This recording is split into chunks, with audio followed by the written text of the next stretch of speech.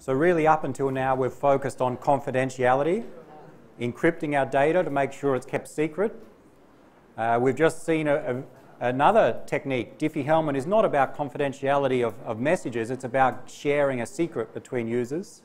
And we saw that we need some form of authentication. So this topic, although it's titled Message Authentication Codes, will first introduce in general authentication. And the next topic is also about supporting authentication.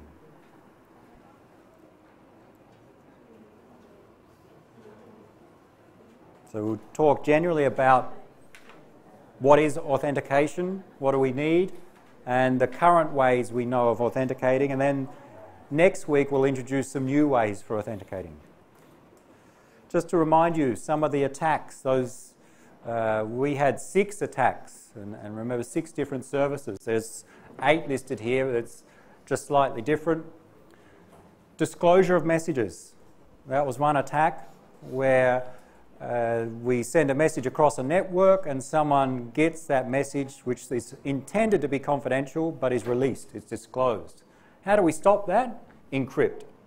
Okay, so the mechanisms for stopping disclosure are mainly encryption. If we encrypt it, no one can decrypt it. Although we haven't talked about it much or seen it in many examples, encryption can also be used to support stopping traffic analysis. If we encrypt our data, it's harder for someone to analyze. But in fact, we need other mechanisms to stop traffic analysis, but encryption is just one of them. But there were many other attacks, many of those active attacks that we talked about. Masquerade, pretend to be someone else. Modification, send a message, someone modifies it in the middle like we just saw, the man in the middle. Uh, repudiation, or those messages that uh, someone denies receiving a message or denies sending a message. How do we stop such attacks? Well, they require authentication. So, message authentication is about when we receive a message, let's check did this come from who they say they are, or is it someone pretending to be them? Or has this message been modified along the way? That's what authentication uh, includes. Checking that it's not someone masquerading or it's not someone modifying the message. Modification may be modifying the content of the message. Maybe someone sends five messages. Modification attack may involve changing the ordering of those messages. Okay, that could be an attack. So sequence modification or even the timing, delaying a message. That could be some form of, a, of an attack. And authentication is the mechanism used to stop that. Non repudiation, remember, someone denies that they sent or received a message. The way that we stop such uh, actions is to use digital signatures, which are really uh, a, a subset of authentication. So the next few topics are on authentication. What do we mean by authentication?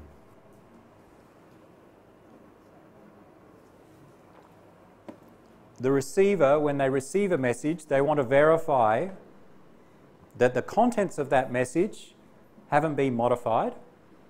Okay, so I get a message, I want to be sure that that message is exactly how the source sent it and that the source of the message is who they claim to be. It's not someone pretending to be someone else. So there are two forms of authentication there. We usually want both. Okay, so often the techniques provide both services. Authenticate the data, or sometimes we call it data integrity, and authenticate the source, or just authentication.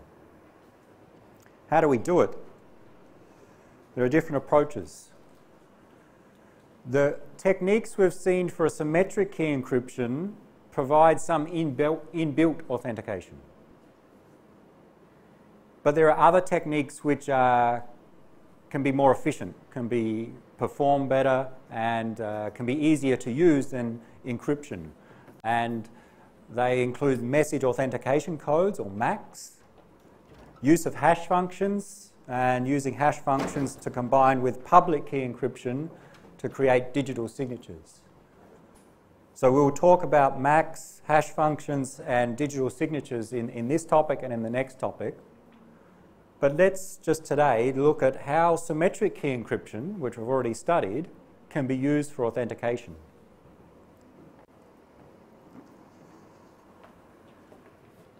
And let's use an example to consider that. There's an example we've done before.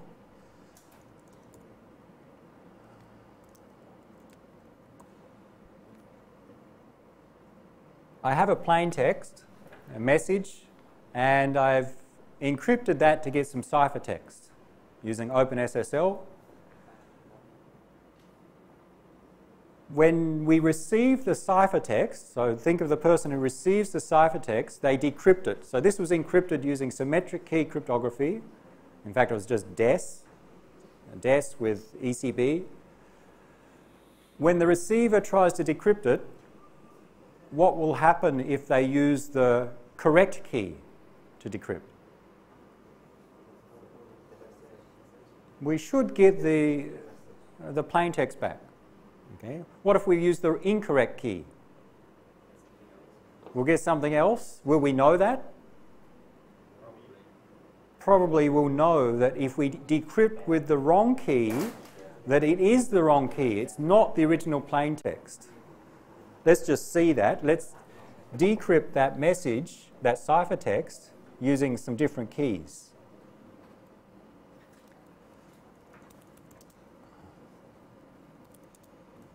I use DES with ECB minus D to decrypt. The input is the ciphertext, and the output is, let's say, uh, received 1.txt. We'll have a look at it in a moment. Now with encrypting with DES, we need to specify an initialization vector, and I'll tell you what it is, because I've done it before. Or I'll type what it is, the IV, I hope. Let's say it was known, it's not secret. And the other thing we need is, of course, the key. And we'll type that in in a moment and we'll, explain it later, but we'll use the option nopad. What's the key to use? There are 16 hex digits in the key. It's 64 bits with DES. What key do you use when you decrypt? Well, if you don't know it, then, well, let's try any key maybe first. Let's try this key. I don't know it at this stage. Let's say someone tries to decrypt this message with the wrong key. I know it's wrong because I know the key. Let's see what happens. And we'll use XXD to look at that received message. maybe zoom out a bit. Was that the correct key or not? Why not? It's unreadable. That is, if you look at the ASCII encoding, the dots means unprintable characters. We get some characters. It doesn't make sense to us. So this is a form of authentication. Because it doesn't successfully decrypt, and because we recognize this didn't decrypt correctly, what does it imply? The key is wrong, or if the key was right and it didn't decrypt, what does that imply? The, if the key was correct and it didn't decrypt, it implies the message is wrong, the ciphertext is wrong. We'll see that in a moment. Let's decrypt it with the correct key.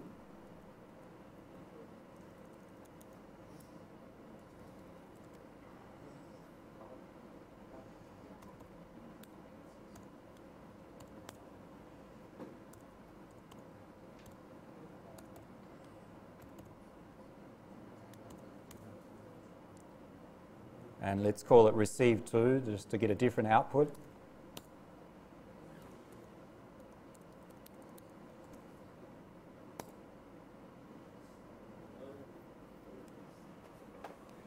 What happened?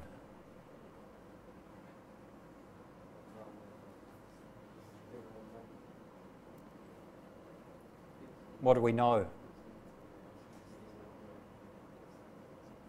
The key is the key is wrong or the ciphertext is wrong. We don't know. Something is wrong still. Okay? It is the wrong key. That's a 1. Let's try again. What do we know now? The key is correct. Okay, we get a message that makes sense. So we assume the key is correct and we assume that the ciphertext hasn't been modified. Why? Let's try and modify the ciphertext and then use the correct key. How do I modify the ciphertext?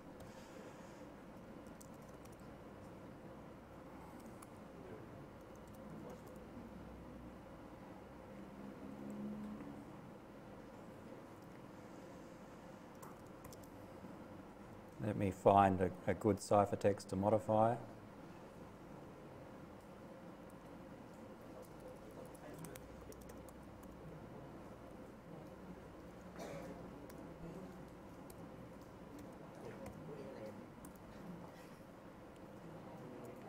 Try again. and I'll just correct key. So I haven't changed the key. I changed the ciphertext. I hope this will work. Let's call it receive 3.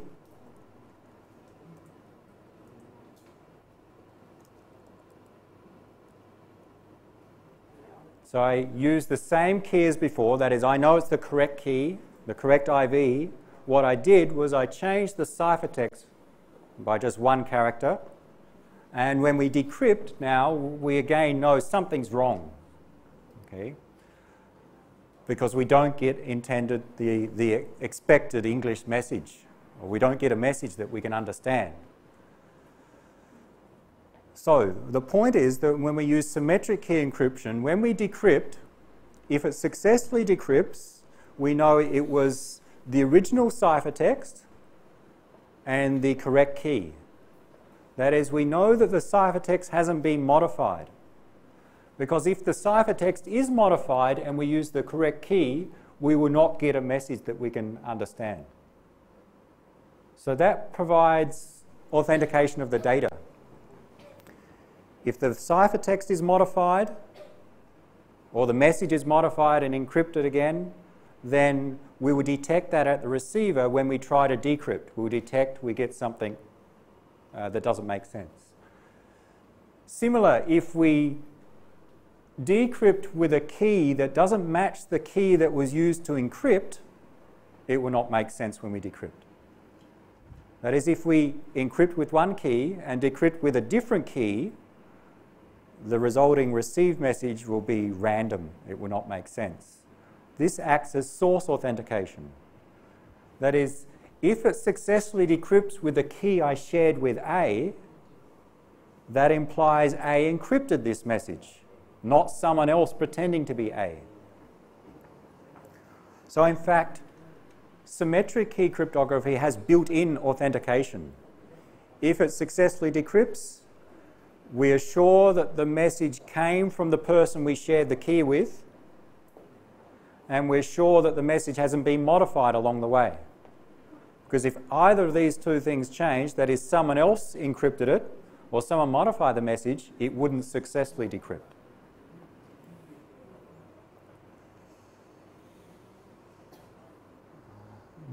Try and understand that logic of why symmetric key encryption provides authentication.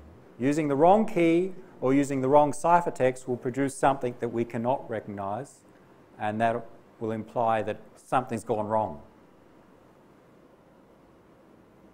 Now, there's some assumptions here. How do you know that this .c9r is incorrect? How do you know this is not the correct plain text? You don't understand it. What if the message that I sent was a random key? Okay, I wanted to encrypt a key and send it to someone. So I took a key, which was just random bits, encrypted it, and I send that. Someone decrypts it. So what do they get as output? Random characters. How do they know if they are the correct random characters? They are the correct key.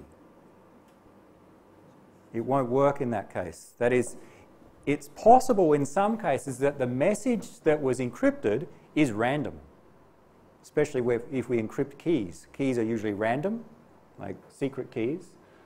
So if the message is random, then we cannot tell if this is correct or not. Because it could be, we cannot identify. How can we get around that problem? How can I know that the message when I decrypt it is correct or not?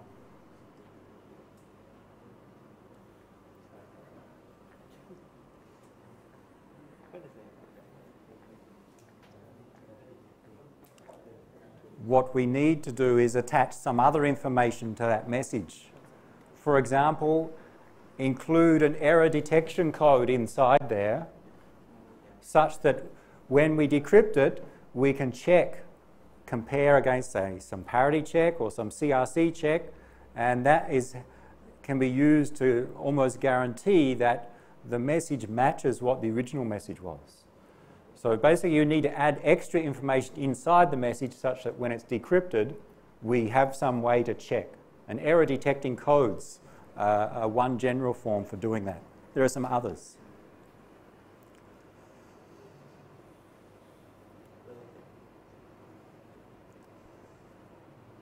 So authentication is provided using symmetric key encryption. Uh, we'll go direct to, that's just symmetric key encryption, which we've seen before we assume that the, the person decrypting can recognize the correct plain text. If we can't, we have a problem. So symmetric key encryption provides confidentiality. Only B and A can recover the plain text.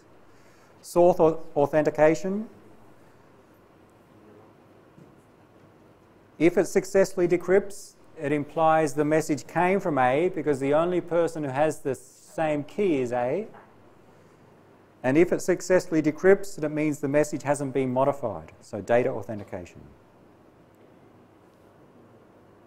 And the, the example we showed, and a, a similar one is given here, a simpler one is recognizing the correct plain text. I think if you receive this ciphertext and you decrypt with a key and get this plain text, you will assume it's correct.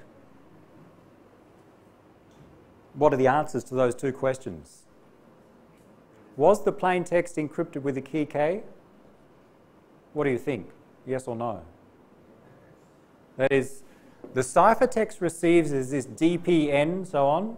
B decrypts it with some key K that it's shared with A and gets this plain text. Do you think the plain text was encrypted with the key K? Yes. Do you think the ciphertext received is the same as the ciphertext sent? Meaning no modification? Yes. Because if it was modified, you, we think we wouldn't get a message that makes sense here. So if we can recognize the correct plain text, authentication is provided. In this case, different ciphertext, different plain text, do you think that the correct key was used? what's the plain text? Can you read it to me? Does it make sense? No. So here's the case if it doesn't make sense, we think either the wrong key was used or something was modified along the way. We don't know which, but we know something's gone wrong, and that's sufficient for authentication. So if we can correctly recognize the plain text, we can provide authentication. What about this case? Now it's harder. We don't know what we're expecting to receive. It's binary. Maybe it's a, a random key. So only when we can recognize the correct plain text does authentication get provided. So in example 1 and 2, we assume the message was in English and it worked. In example 3, it's much harder to know whether what we receive is correct or not. we will not cover that. So the point is, to finish today, symmetric key encryption can provide authentication, but not in all cases. in many cases, but not all cases. In the cases that it can't, let's say sending random messages, we can adapt by adding some other error detecting code to help. But it turns out it's not so efficient in some cases. It's maybe doesn't perform well. So people have developed other approaches, message authentication codes, and in the next topic, hash functions and digital signatures. We will cover them next week.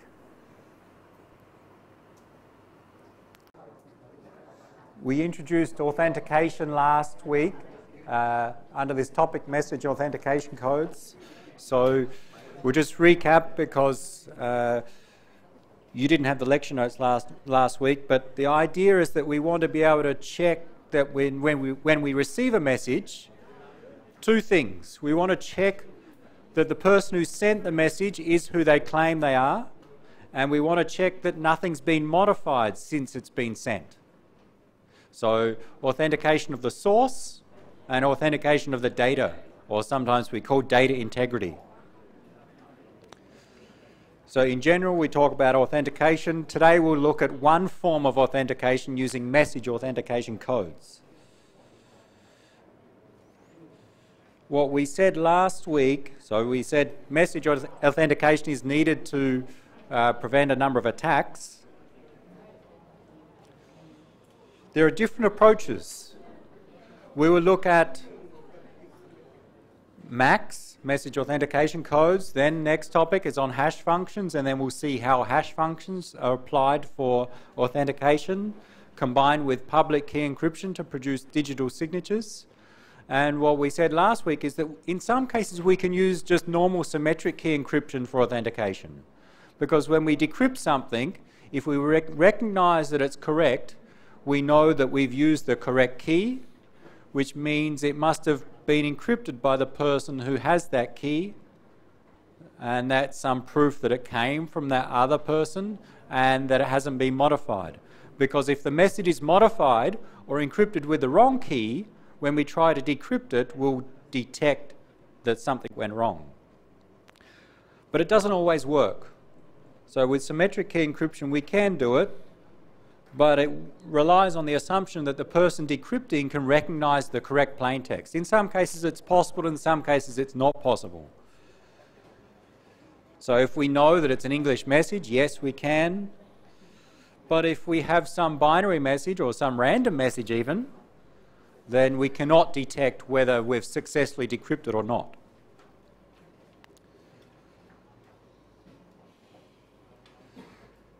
So the way to solve this, such that when we receive a message we can determine, has anything modified? Has, has this come from the right person? One way is to make sure that when we do encrypt a message, that when we decrypt it, we can be sure if it's correct or not. And one way to do that is to add some structure inside. That is, let's say I have a message to send. It's a sequence of uh, a thousand random bits. Maybe it's a key of a thousand bits long that has no structure in it. So when we decrypt, we cannot detect if it's correct or not. So one way we can uh, support the authentication is add some structure, add a parity check or, or a more uh, a more effective error detecting code, like a CRC uh, check or some frame check sequence. So add some structure to the data such that when we decrypt, we've got something to recognize, that structure that we've added in there. If we're talking about network communications, most messages we send across a network already have some inbuilt structure, the header of the packet. Because if we encrypt a packet, even if the data is random, the header is structured. So when we decrypt that packet, we should be able to recognize the correct header fields because there's only certain values that are available. So we can use symmetric key encryption for authentication by making sure we introduce some structure into the message.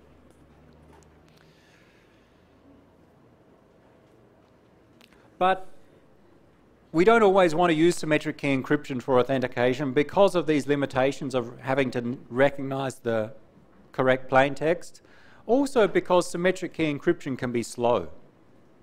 So for performance reasons, reasons, we may not want to encrypt the entire message. We'd like to use maybe a faster algorithm that doesn't have to encrypt the, let's say, one gigabyte file, that can be faster uh, to add some information to support authentication and faster to verify. So there are techniques developed that don't use symmetric key encryption but also provide authentication. So that's what we look at today. The technique is called Message Authentication Codes, or MACs. What else does MAC stand for? M-A-C? MAC, not MAX. Medium access control in computer networks, sometimes you, we talk about MAC protocols or the MAC address. It's not the same thing. This is a message authentication code. So just be aware uh, that acronym comes up in multiple instances. How does it work? We will look at the general concepts of using MACs for authentication. We will not go through any detailed algorithms, so any real algorithms. I'll mention the names of some. Okay, there are different algorithms. We'll just look at the concepts and talk about what, what are the security requirements. So the approach is what we do is if we have a message we want to send from A to B, and we want to make sure B, when they get that message, that it hasn't been modified along the way, and it came from someone who, who's claiming to be the sender. So what we do is at the source, the sender A, before they send the message, they calculate the message authentication code for that message. So they take the message M, in this case, M for message. The, the MAC is a, is a function. So here MAC is a function, and it takes two inputs, the message and a secret key K. And the function takes the message and the key and produces what should be a random but short output, which we call a tag T, and unfortunately, it's also called a message authentication code, a code. So sometimes I'll try and refer to this as the tag as the output, but more generally we call the output is the MAC. So the output of a MAC function is a MAC, so that gets confusing. The idea is that that message authentication code or tag is, is short and fixed length. So short, uh, uh, usually in order of hundreds of bits. And it's always the same, doesn't matter what length the message is on input. If we have different lengths, different length messages on input, we'll still get the same n bits as output in a tag. And in general, we'd like the tag to be random, okay, that there's no uh, uh, noticeable structure in the tag, and that uh, some requirements that, for example, similar to encryption, two different input messages with the same key will produce two different output tags. That was our requirement for encryption. If we encrypt two different messages using the same key, we should get two different ciphertexts as output. We still have that requirement here for our MAC function. In fact, it's similar to symmetric key encryption. If you write an equation for symmetric key encryption, it's, it's effectively identical. Let's write it. And many of the requirements are the same. That is, think of a symmetric key encryption. We talk about, we take, we encrypt using some key some message and get some ciphertext. We use P for plain text or M for message. This is symmetric key encryption.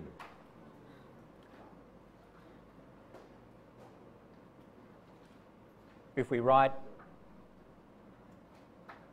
the equation for a MAC, we take a key, a secret key also, some message as input, and it should be a function that produces some output, we'll denote as T. So there are similarities between symmetric key encryption and using a MAC. The requirements of two different input messages If we use the same key but have two different input messages, we should get different outputs. Those requirements are the same. And similar, we would like that given the same message, if we use a different key, we'd get a different output. With encryption, if we encrypt one message with key 1, we get a ciphertext. If we encrypt the same message with key 2, we should get a different ciphertext. The same requirement is expected for a MAC function. And in fact, some of the MAC functions that are used use concepts of our symmetric key encryption algorithms. So there's a lot of similarities there. A big difference is that the tag is usually short and shorter than the message. With symmetric key encryption, the ciphertext and the message, or the plain text, are the same length. With a MAC function, usually we can have any size input message, doesn't need to be fixed, and we'll get a fixed size output tag, and usually small. So we could calculate the MAC of, say, a, a 10,000 byte message and it will produce a, say, 128-bit output tag. Whereas with encryption, we talked about encrypting some message of some size and we'll get ciphertext which is the same size as output. That's different here. The other thing is decryption.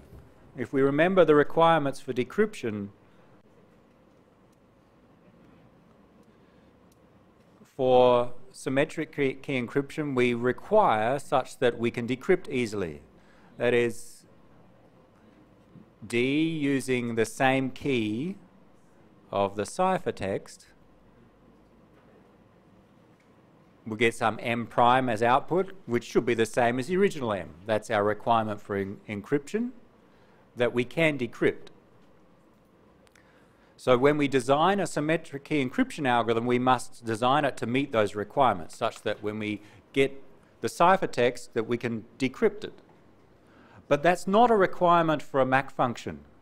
A MAC function doesn't need to go backwards. An encryption function does. And that leads to the fact that it's generally easier to de design better performing MAC functions than encryption functions.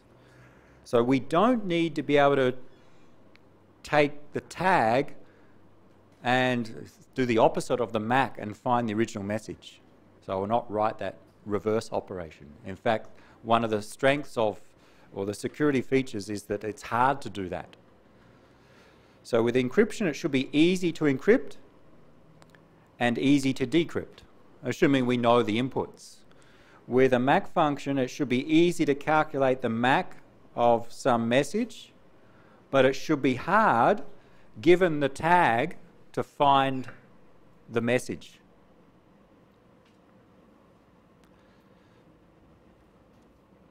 So this should be easy. This is normal encryption. So should this.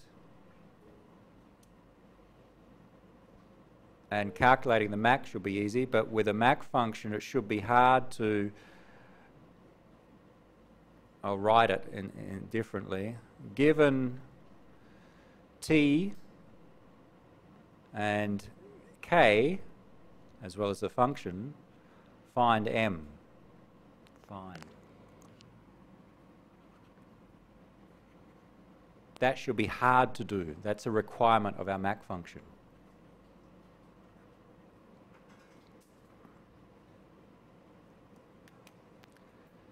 or, and we'll state it in the slides, it comes up in the slides again, uh, finding the key K should be hard. Okay, that is, it's a secret key, the same as encryption, so someone shouldn't be able to guess that. Uh, and calculating the tag without the key should be hard.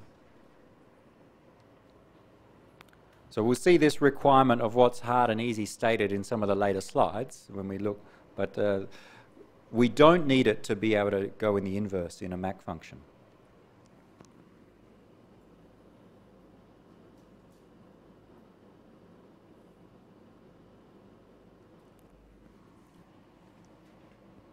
We will see in the next topic, we'll talk about hash functions are an alternative for authentication and a MAC function is similar to a hash function also, sometimes called a keyed hash function. But we'll return to that after we go through hash functions. So let's look how MACs can be used. We'll go through maybe just two of these cases. Uh, the bottom two are related. We'll go through the, the top one first and look at how a, a function that has the properties that we, we stated can be useful for authentication and look what an attacker can do.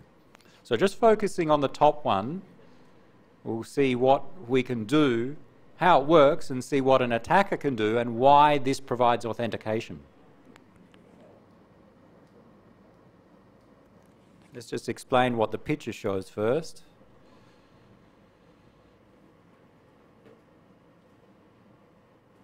The way that we interpret this picture is that, all right, we have our message M. The source A is sending a message M to destination B. And in this case, we want the service of authentication and data integrity. We don't want the service of confidentiality.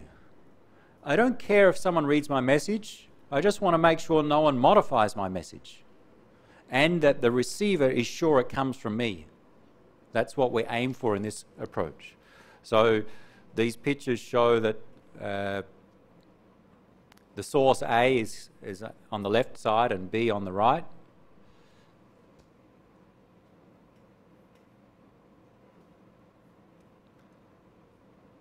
And these are the steps that are taken at, at, A before they send the message. So they have some message M. What they do is they calculate the MAC of that message. And it's using different notation here. It says C, calculate to short for calculating the code. So C here, think of that as the MAC function. So the MAC function takes two inputs. It takes the message and a secret key. And this secret key is shared between A and B. So the assumption that A knows the key and B knows the key. No one else knows the key. Same as symmetric key cryptography. We calculate the, using the MAC function, we calculate the tag. So I'll write it here as the output in our notation is T that comes out. So just be wary that different notation is used. Sometimes a tag is it's called, sometimes it's called a, a code. And we then concatenate that message with the tag. So the two lines there mean concatenation. Just join them. And then we send the result across the network. We send it to B. So what we can say is that sent to B is the message concatenated with the tag. Where the tag was calculated in this step as the MAC using key K of the message M returns T. So this is just a, a, graphical illustration of the steps that A takes. The message in the clear is sent to B and attached with that message is a tag. And that's shown there that the grey box at the bottom of the message is the tag. What B does is verifies. And the way that they verify is that they take the received message, M, and using the same MAC function and the same key, K, calculate the tag of the received message and compare that with the tag received, the part that they received from A. If they match, it assumes everything's okay. If they don't match, something's gone wrong. So that's just to note what those steps are. So the message, and this is again, uh, we calculate, I'll use slightly different notation, using the MAC function, key K, and let's denote this as the message received, M prime. It should be the same as the message sent, unless an attacker has performed an attack and modified it.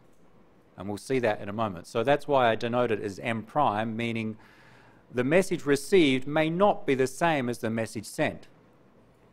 So what B does, which doesn't know that yet, they calculate the MAC of M prime and they get a tag as output. I'll denote as T prime. and they compare t prime. Now I've made a, a compare 2 equals with the received t here. What can we call that? Uh,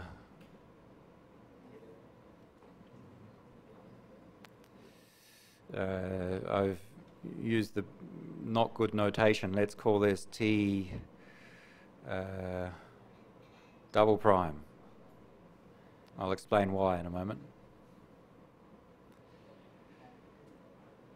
If they match, we assume everything's okay. If they don't match, we assume something's gone wrong. Let's go back and, and see the notation we're using. A sends the message plus the tag T. B receives a message plus some tag, but they may not be the same. If an attack takes place, they could be different. That's why I've denoted, let's say the received M is M prime, the received tag is T double prime. I should have done that better, but that's what we've got, T double prime. B calculates the tag for the received message, M prime, and compares that to receive tag T double prime. So if they match, it means well, we'll assume that both the message has not been modified and that the message came from A. And if they don't match, we'll assume that either the message being modified or the message did not come from A. So that's the idea here. Let's look at what an attacker can do and see how this authentication works. And I'll maybe change the notation instead of double prime, we'll try something else that's a bit easier to see.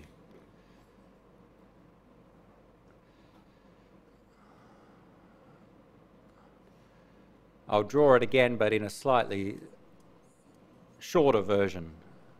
We have our user A is going to send to B, and the user A does the same thing again at the source that they calculate T equals the MAC of using K, and let's call it KAB to be precise, of M. That is a key shared between A and B. And they send to B the tag plus the message.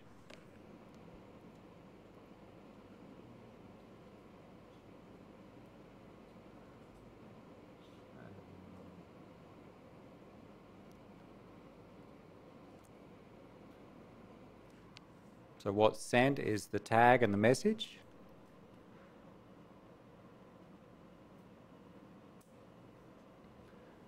Now let's perform an attack on this, and let's say a, a, third party has intercepted this before it gets to B, and that they modify the message.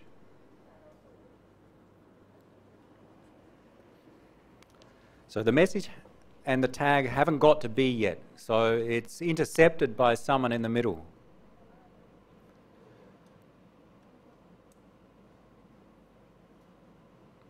Some other user, our malicious user, intercepts. Mal for our malicious user. And let's say that they modify the message M. And then send the modified one on to B.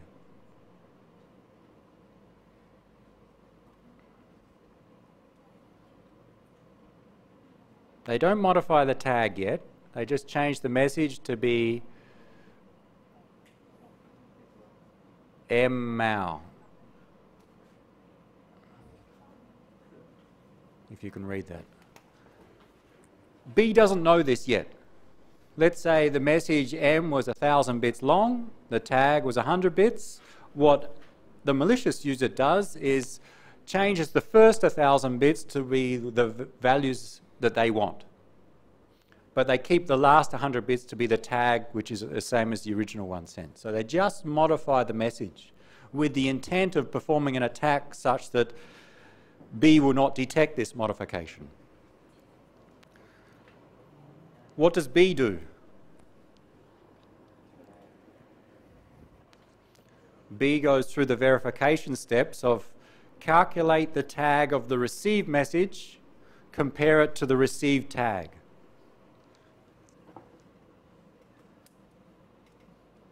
So we calculate the tag of the received message, uh, the steps, the received message mmal using K AB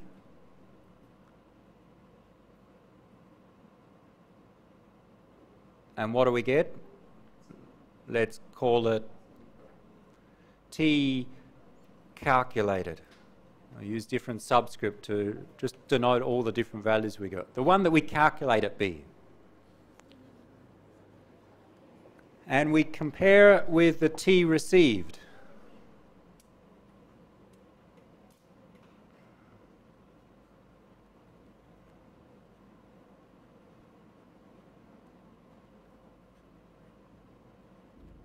There's the question for you. Does T, the calculated value, equal the received value? Yes or no?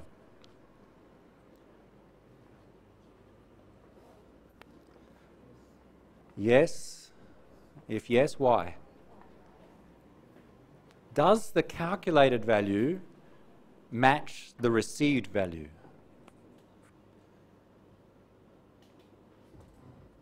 No, why not? What requirement would we need if, or would we rely on for that to be no? And think about encryption, similar operations of encryption.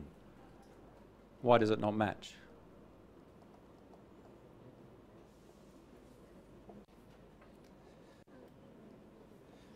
Okay, let's look at how T was calculated. T was calculated as the MAC the MAC function using KAB of some message M. TCUC here is the MAC function, same MAC function. KAB, same key. M of the malicious user, different message. Similar with encryption. If you encrypt two different messages using the same key, you'll get two different ciphertexts. And that's a same requirement that we expect for a MAC function. If we apply our MAC function on two different messages, M and M of the malicious user, using the same key, our requirement for security is that it will produce two different output tags. So if that requirement is met, then this will be false. They would not match. And if it's false, when we compare them, that implies to be something's gone wrong.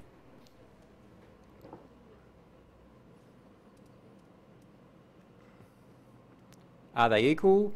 No, and that implies to be some error.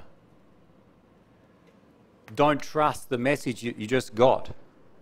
Either someone has modified it or someone uh, is pretending to be A. We're not sure what went wrong, but we not are sure something went wrong.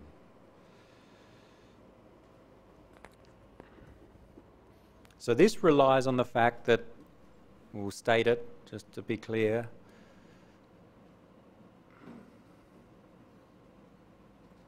the MAC of two different messages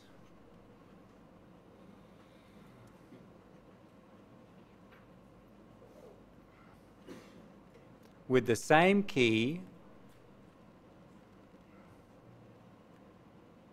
I don't think it's clearly on the slides. Produces different tags.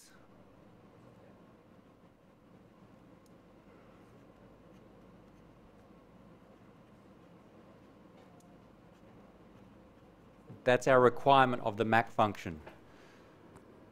Same key, different messages, we'll get different tags. And if that's the case, then that's the two t values, t and T calc, will not be the same.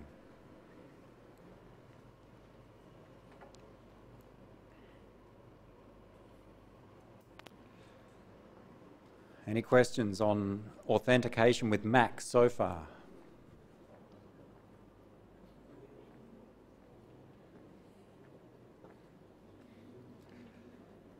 Then try an attack where you're the attacker and change the tag as well. I'll give you five minutes to try. Same scenario, A calculates the tag, sends M concatenated with T, but the malicious user intercepts. And what the malicious user tries to do, again, they want to go undetected. What they try to do is change not just the message, but change the message and the tag. Try that. Try and draw it, see what happens, or see whether an attack can be detected or not.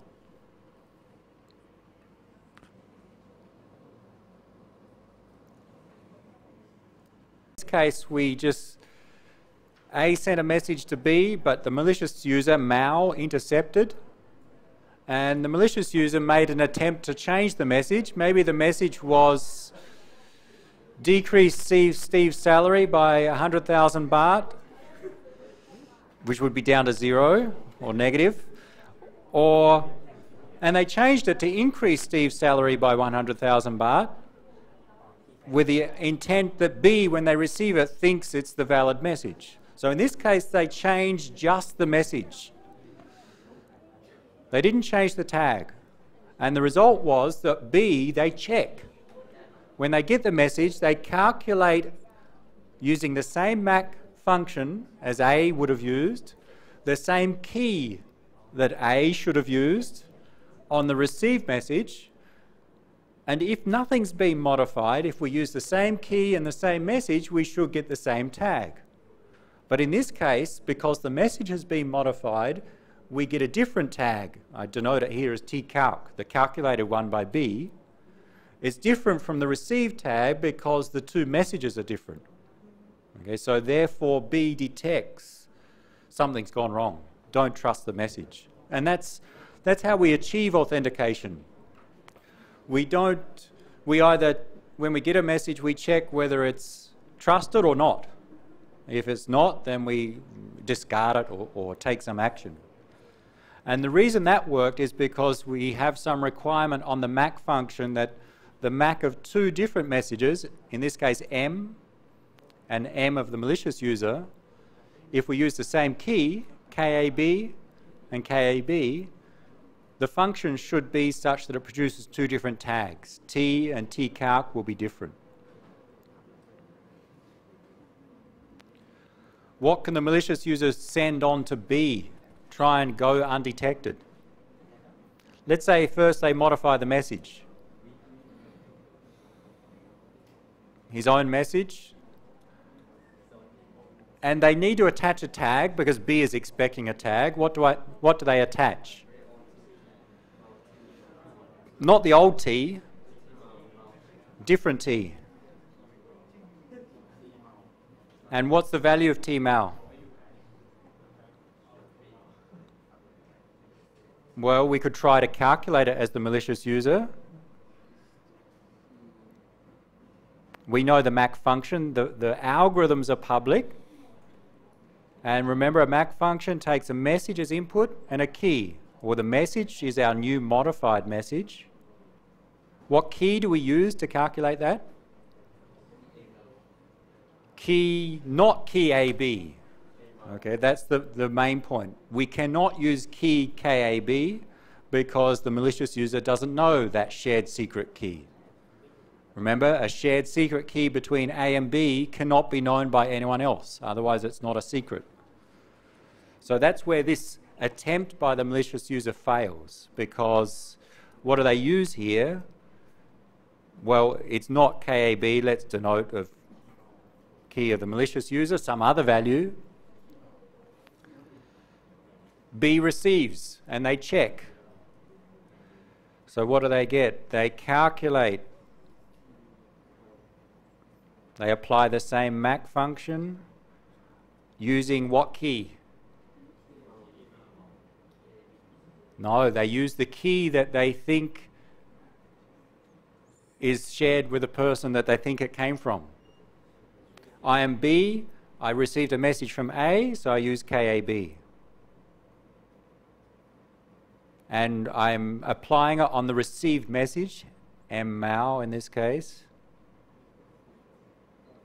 And then I compare that calculated value with the received value. Do they match? Why don't they match? Here we have the same message, mmal, mmal, same MAC function, but a different key. KAB was used here in the calculation. K the, of the malicious user was used here, which is not KAB, and our requirement of the MAC function, which is the same as for encryption functions, two different keys produces two different outputs. So B knows there's an error in that case. Don't trust that message. Something's gone wrong.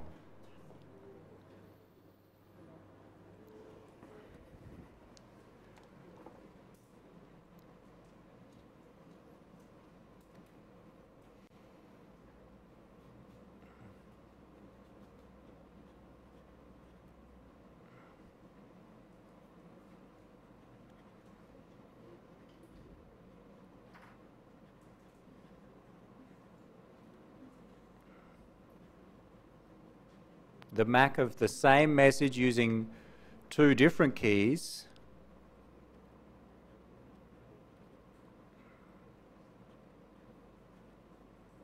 produces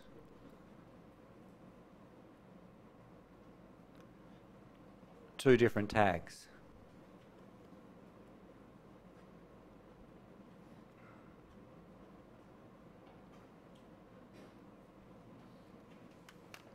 Similar to our previous requirement, which was the MAC of the using the same key of two different messages produces different tags. The same message using two different keys produces different tags. Those are requirements of the MAC function.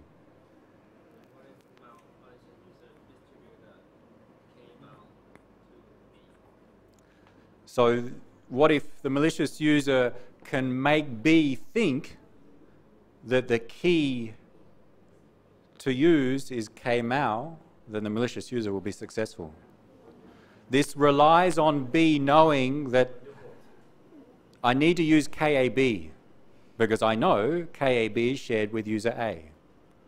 Okay, if, if that doesn't hold, then yes, the malicious user can be successful. You can find, find that case and see it works quite easily. So there's some assumptions that we have here, and that's that continuing assumption a secret key is known and secret between A and B.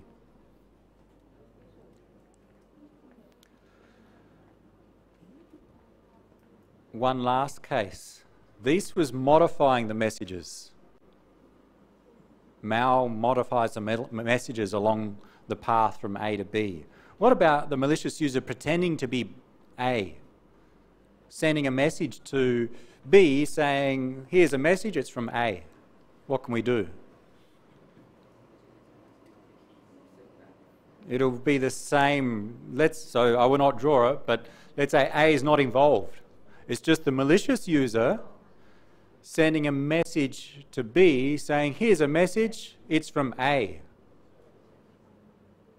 B will follow the same steps, but B will use KAB to check and the malicious user will not have K, KAB and will not be able to uh, fool B into thinking it came from A. Maybe we'll draw that, but we'll see it's the same as this case. Let's draw it to be complete.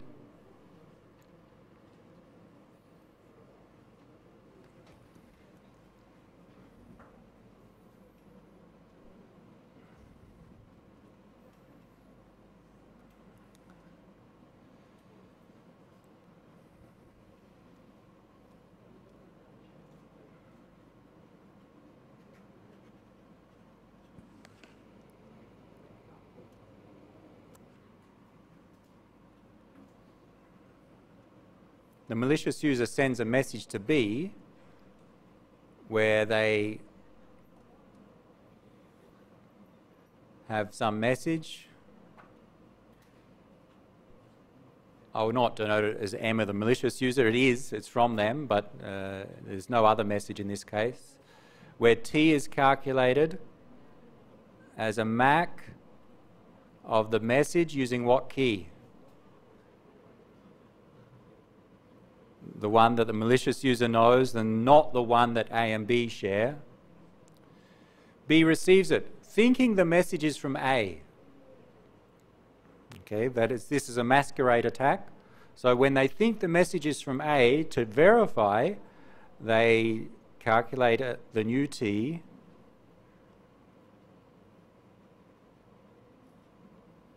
of the received message using which key? KAB.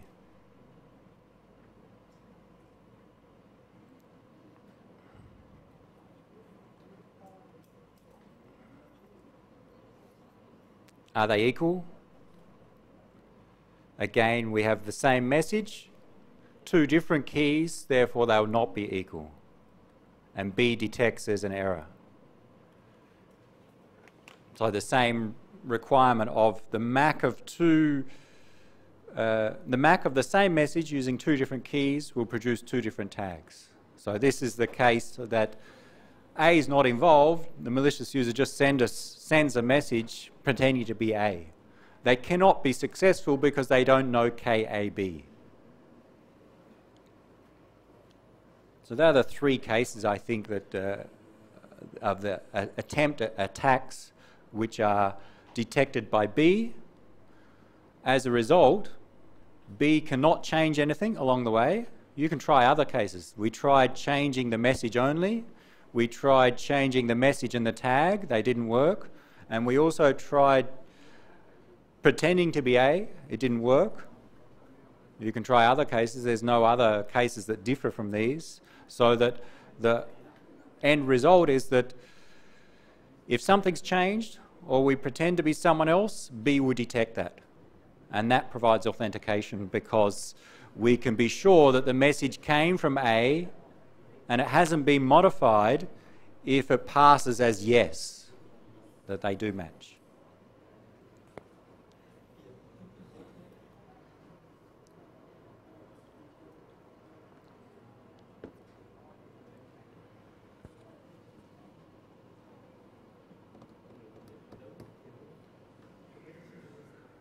How can the attacker be successful then? Yep. Only change the tag is the other thing. So we covered two of the three cases. We ch changed the message but not the tag. Then we tried, and it didn't work. We tried changing the message and the tag. It didn't work because we didn't have the key. Keep the same message, change the tag. What would happen? It would not work again because if we change the tag and we try to check it with KAB, we'll get a different tag. Okay, so it will be detected by B. So changing the message on its own didn't work. The changing the message and the tag doesn't work. Changing the tag only will not work. There's no other option. Don't change anything. Well, there's, there's no such attack. Okay, and also pretending to be A doesn't work. Okay, so that's all cases covered.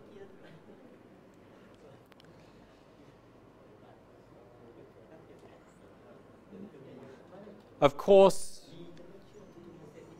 those requirements that I stated in green must hold for our MAC function.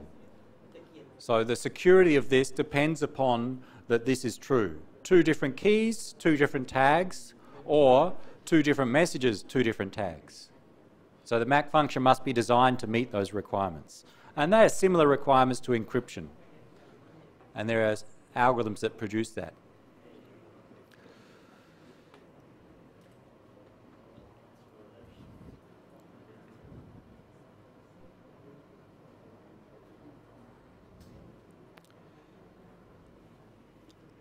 The first one was said the MAC of two different messages will, with the same key produces different tags. True or false? Is that statement true or false?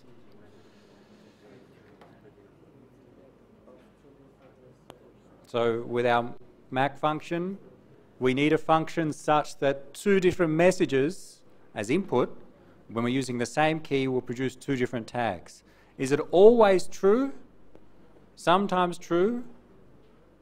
always false?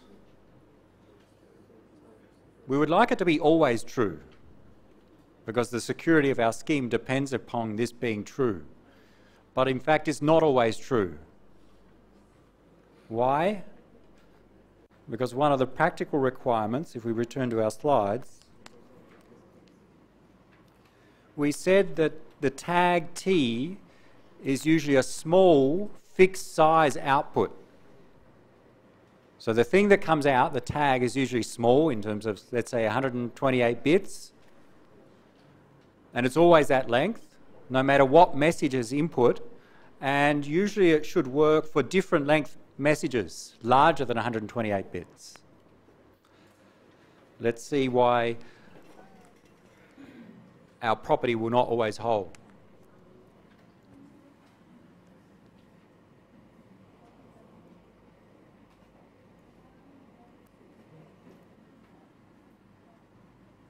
Uh, let's draw a new picture. So let's give some example numbers to, to illustrate this new concept. Let's say our tag T is, uh, let's start simple, five bits long. It's always five bits. So what we do, we calculate the tag using a MAC function, and as a simple example,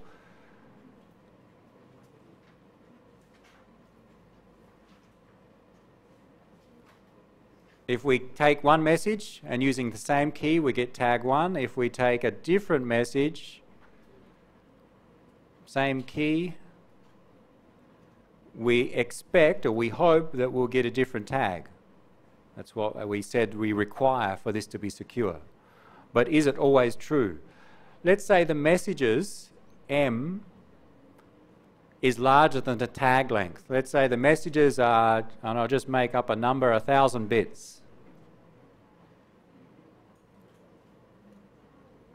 No, let's make a smaller number, sorry. 10 bits. We'll do a, a more realistic example in a moment. So let's say we've got a MAC function that takes a 10-bit message and always produces a 5-bit output. How many possible input messages?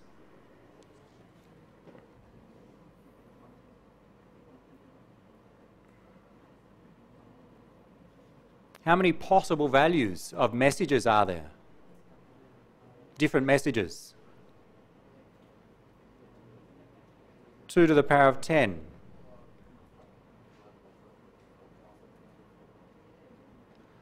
With 10-bit messages, there are 1,024 possible combinations. So we take a message as input, using the same key, apply our MAC function, we get a tag as output. How many possible outputs?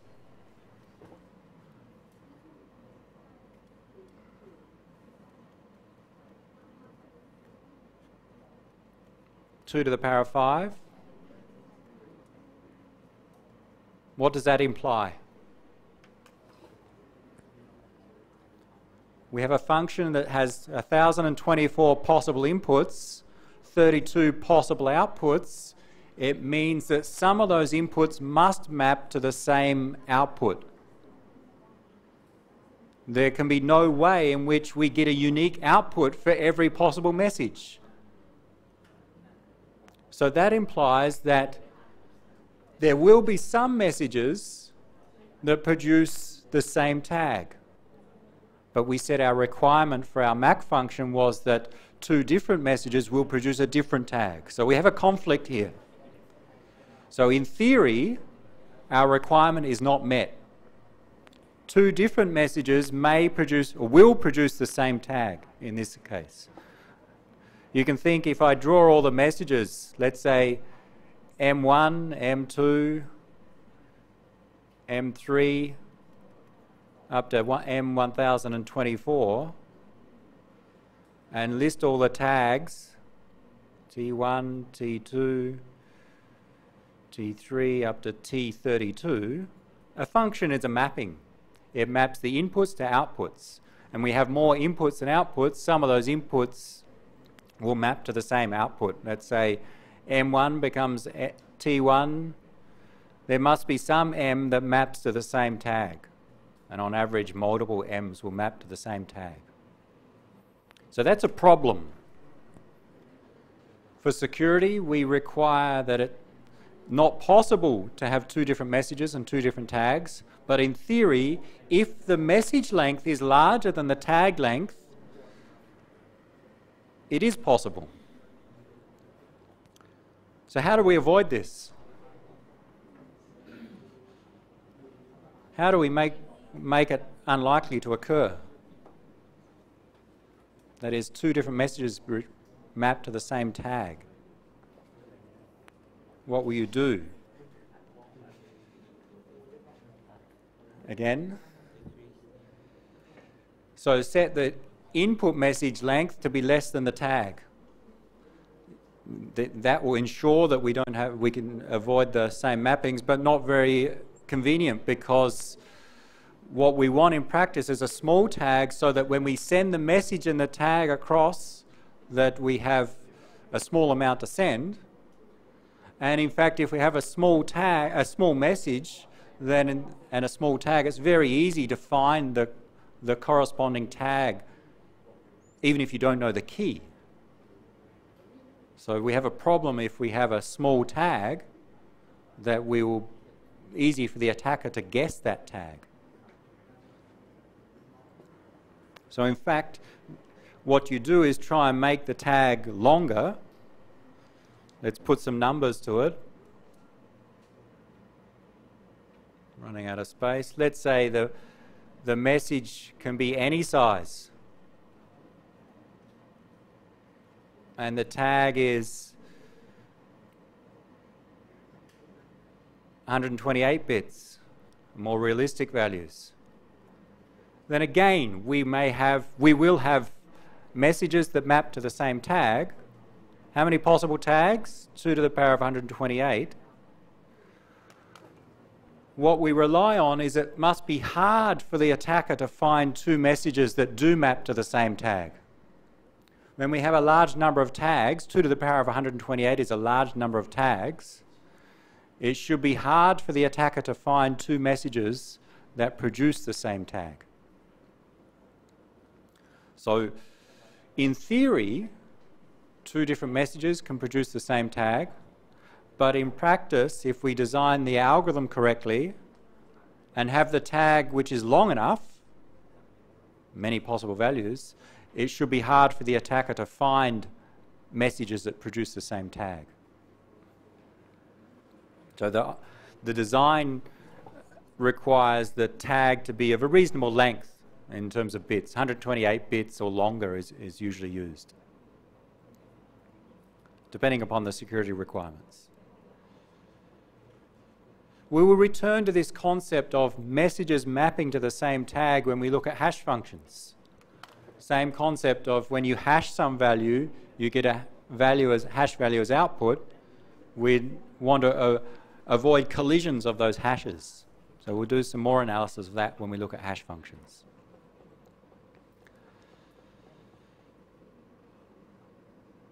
Let's return to our slides and see what we've missed. We went through just the first case. Look at the second case. We do not need to analyze because there's uh, almost the same. This one introduces encryption as well. C is the MAC function. In the first case, there was no confidentiality, just authentication. In the second case, let's say we want our message to be private as well. I don't want anyone to see my message. So this is a case where we calculate the MAC on the message using one key, concatenate it or join it with the original message, and then encrypt all of that using some symmetric key algorithm like AES using a second key K2. So the same concepts apply uh, in terms of the security requirements of the MAC function, but in addition we also encrypt the message, just so that the attacker cannot see the contents of the message. So this is do the MAC and then encrypt. And it's similar that what, at the receiver we decrypt and do the same as comparison as the previous step. The third case is similar to the second, second case, but they're in the opposite order. Here we do the encrypt, encrypt the message using our symmetric key cipher, and then apply the MAC on the ciphertext as output. Send them both, that is the ciphertext and the MAC, across the network. The difference between the bottom two pictures in this slide, the middle one is MAC, then encrypt, and the last one is encrypt and then MAC and we're not going to explain the differences. There are subtle differences in terms of security in those. That is, uh, some are recommended for particular purposes in, in real applications. So those who sat through the lab on yesterday and are going to do it tomorrow, the others, we did a capture of SSL, no, SSH, SSH. And if you saw the algorithms in there, if you saw what was encrypted, I think it was called something like uh, I just remember now it was AES 128 with CBC, and it was using those that uh, haven't seen it will see it uh, later. It was using HMAC and ETM. ETM. Encrypt then MAC. That's what the ETM stands for. Encrypt then MAC. HMAC is a MAC function. So SSL, SSH to secure shell into applications, SSL will come later. SSH uses encrypt then MAC. But we're not going to analyze the differences between them. Just be aware these two are combining both a MAC and encrypt, but the ordering differs. And there are some subtle differences as to which one is, is more appropriate under different conditions. Usually encrypt then MAC is recommended, but it has some limitations.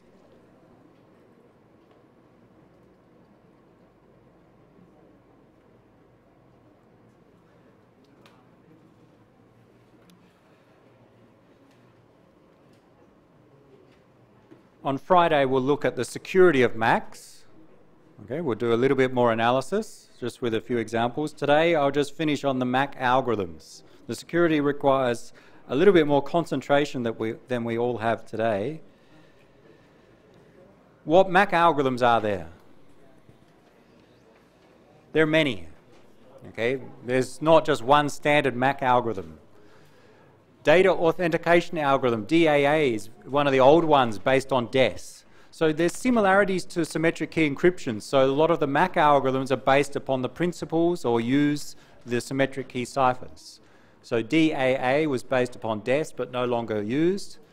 Cipher-based MAC, CMAC, allows you to use triple DES or AES or other ciphers to create a MAC. There's OMAC, PMAC, UMAC, VMAC, and others. Okay, so there are many different MAC algorithms in used in practice. And there's HMAC, which we will commonly see in network protocols. HMAC actually turns a hash function like MD5 or SHA into a MAC function. It uses OPADs and IPADs and XORs. We will see HMAC in many examples and we'll come back and explain that after we've looked at hash functions in the next topic. So we're not going to go through any specific MAC function, just the concepts.